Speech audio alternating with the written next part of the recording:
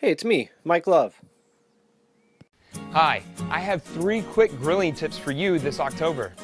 You're going to want to preheat your grill 25 to 30 minutes before cooking. That way you kill off any bacteria and you hit that perfect temperature. Now one way to keep your food from sticking on the grill, just take a paper towel, soak it in some oil, and gently rub it on the grill. Now my last tip is actually my favorite, and I think you're really going to like it.